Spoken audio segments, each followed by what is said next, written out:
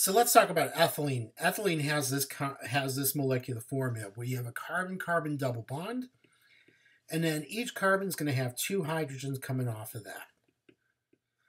Okay, so that's the compound that we're going to shoot for now. So we talked about how we form four bonds that are all the same size, that uh, have all the same energy, but now how do you form a double or a triple bond? So that's the question that we're asking in this video. All right, so let's talk about ethylene. So with ethylene, each carbon will have three electron pairs. Okay. So again, just like VSEPR theory, we're gonna assume, we're gonna treat the, that double bond as if it's a single bond. Okay, so in that case, we have three electron pairs. The shape is trigonal planar. And that means the angles are 120 degrees. All right, so using 2s and 2p by themselves won't get us these shapes. So we need to make some more hybrids. So what we're going to do is we're going to hybridize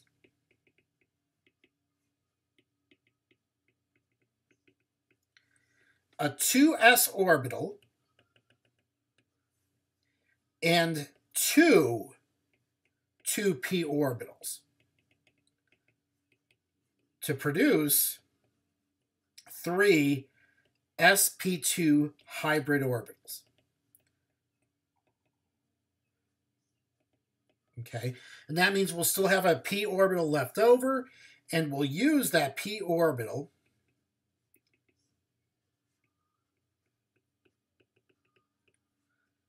to make the double bond.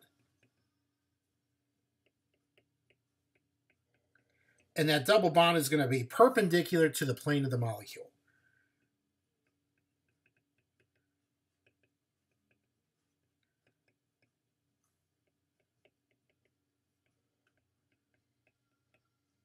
Okay, so I know I just wrote that out in words, what we're going to do.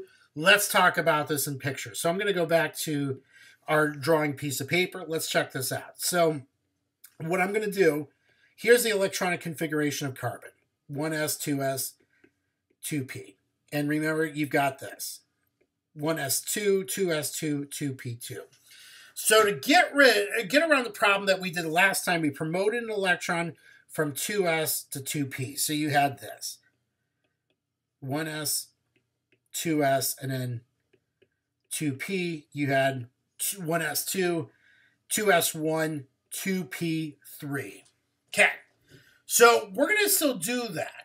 Now, the only thing is, in the last time, we took all the 2p orbitals and the 2s orbitals, mixed them up, and we got the sp3 hybridized orbitals. So this time, what we're going to do is mix only two of the 2p's and the 2s, so we form this new hybrid orbital called sp2, where you have one part s and then two parts p. Okay, so what this would look like, the new electronic configuration is still 1s2, you're going to have three of these two sp2 orbitals, where you're going to have three unpaired electrons, and then you still have an electron in 2p. So these will be used to form, the hybrid orbitals will be used to form the single bonds. Okay? The 2p is going to be used to form the double. Or to form the second bond. All right, so before we go any further in the story, I got to use some terminology. And this is going to be coming up a lot more in organic chemistry. So I'm going to uh, I'm going to introduce this now so that way you guys know what I'm talking about. But, you know, keep in mind as you go forward, these are you'll know you'll be working with these a lot more. So in organic chemistry, we we, we refer to a single bond as a sigma bond. And we represent a sigma bond with a lowercase sigma Greek symbol sigma. Okay. So a single bond is called a sigma bond, and a pi bond, which we use the Greek symbol pi, that's going to be, we form this from overlapping p orbitals.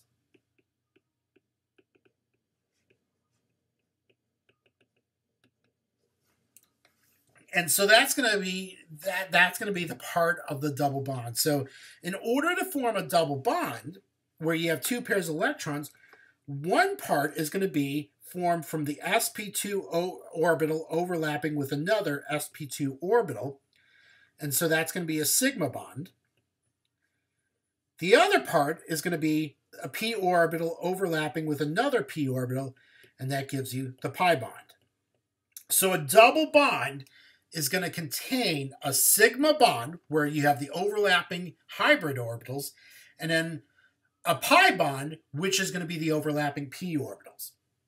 Okay, so what this would look like, and I'm going to get crazy, I'm going to try to draw it. So what this would look like, you would have a carbon in the middle. And I'm going to use, let's let's use a different color for this. Let's use purple. Cuz, just cuz. So these purple orbitals that I'm drawing, these are the sp2 hybrid orbitals. Okay. Now for, I'm going to use the red color. This is going to be the overlapping s orbital from hydrogen. Okay.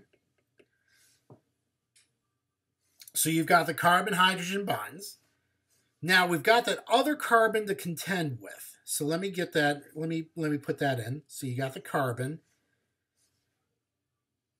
All right, so we get the purples again. So each carbon's going to have that sp2 hybridized orbital. Okay. Let me draw in the other two hydrogens.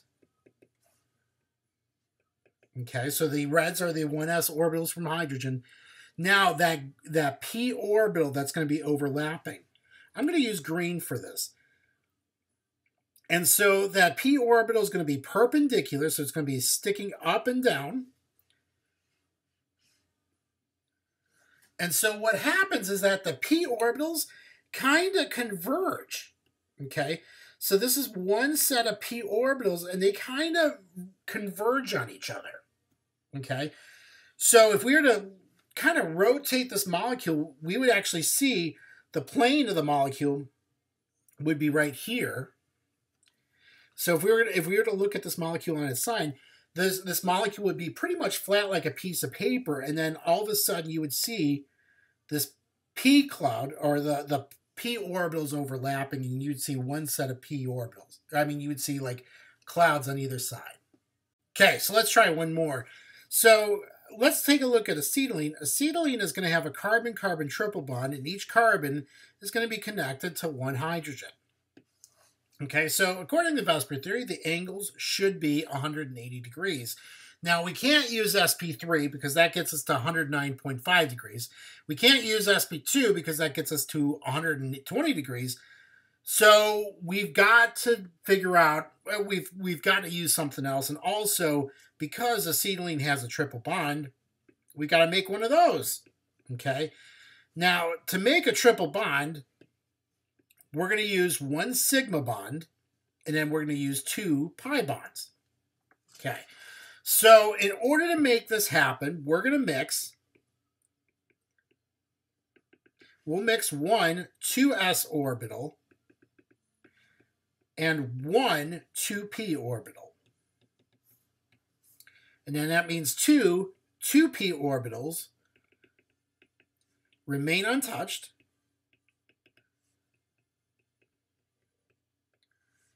And we'll use those to form the pi bonds.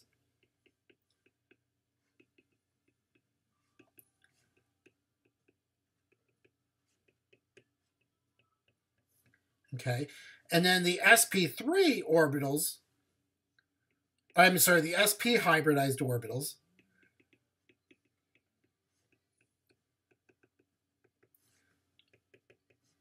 will be used to form the sigma bond.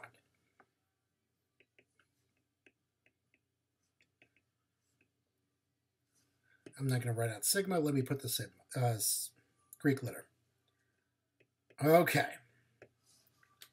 All right, so if we were going to draw this out on a sheet of paper, let me let me get our notes now. Here's the original electronic configuration of carbon. 1s2, 2s2, 2s 2p2. Okay. So, we did the same thing. We're going to promote an electron from 2s to 2p. So that gets us here. So you got 1s2, 2s1, 2p3. Okay. So this time, what we're going to do is mix 2s with one of the two p's, so that way it leaves the other two p's alone. So you're going to get this. 1s2, you're going to have two sp hybridized orbitals. You have two electrons in there. You're going to have two 2p orbitals left alone. So you're going to use the sp hybridized orbitals to form the sigma bonds, the 2p orbitals to form the pi bonds. So if we're going to draw another orbital uh, drawing of what this looks like, here's your carbons. Okay. The sigma bonds we're going to make in purple.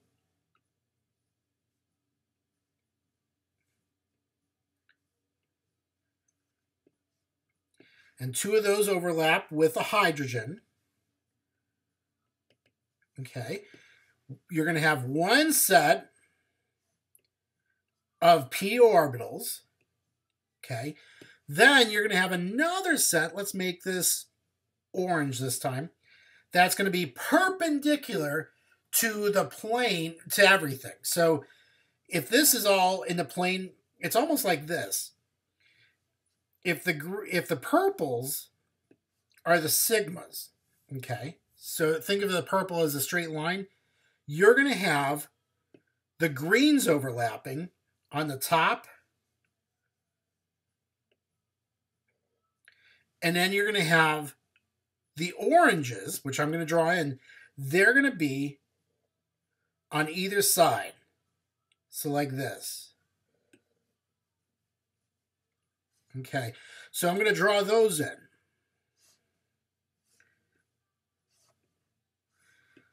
So the oranges overlap and the greens overlap. Now, if I was to rotate this and look at look at the sigma bond, that sigmas the sigmas would look like circles. Okay?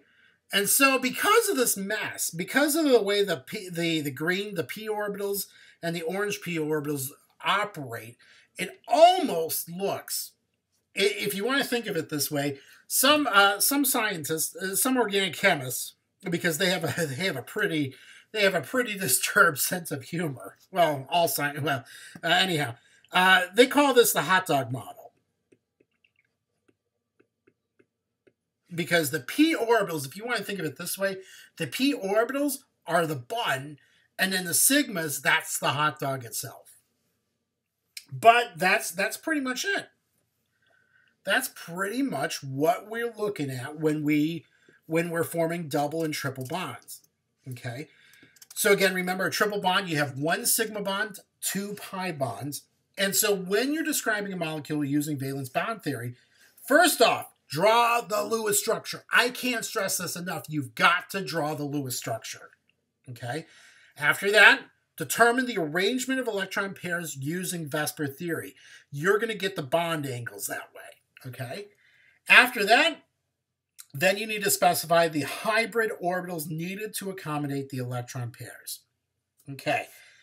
So before we go on to anything else, that's how we get the shapes. Before we, we move on to other things, that's how we're able to cor- you know correlate the shapes that valence bond theory tells us. Okay, so so that's how we're able to correlate the electronic configuration with the shapes from valence bond, from VSEPR theory. But there are so that's how we get linear, that's how we get trigonoplanar, and that's how we get tetrahedral.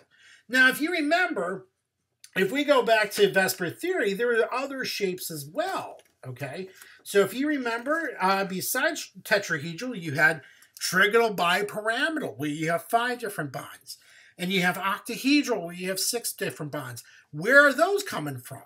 Well, it turns out that you have to hybridize d orbitals as well. Okay, so I'm not, for purposes of this course and what we're doing right now, I'm going to keep things simple. So I'm not going to cover, I'm not going to specifically cover the hybridization of the d orbitals because, um, you know, if you go on further uh, and you talk about inorganic, that's when you're going to talk about that in a lot more information. But But keep in mind to get the other shapes like trigonal bipyramidal and octahedral, you're hybridizing the d orbitals. Okay, so you could have something like sp3d1, sp3d2. Uh, sp3d1 uh, talks about the trigonal bipyramidal. sp3d2 is going to be the octahedral. Again, we're not going to go into too much detail about that, and I'm not going to test you over that. So that that pretty much is the overview of valence bond theory. But there are some problems with this. Okay, so here's here are some of the problems.